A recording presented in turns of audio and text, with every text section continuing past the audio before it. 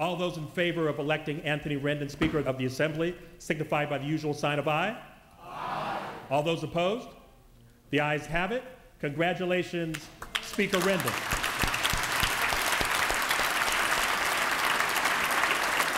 Being chosen to again serve as Speaker is all the more an honor because it is a tacit acknowledgement of what we have done here in the Assembly.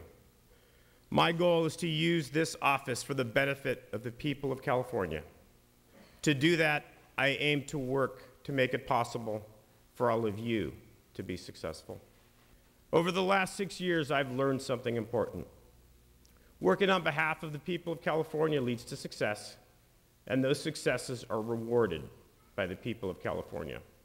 We can address the huge economic challenges that face Californians who need housing, who need health care, who need education for their youngest children and for their oldest. We can continue fighting for the rights of working people, immigrants, and anyone who is threatened with bias.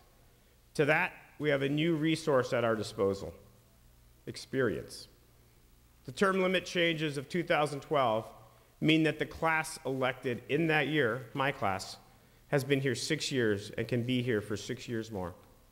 We need that experience. We will use that experience. Thank you.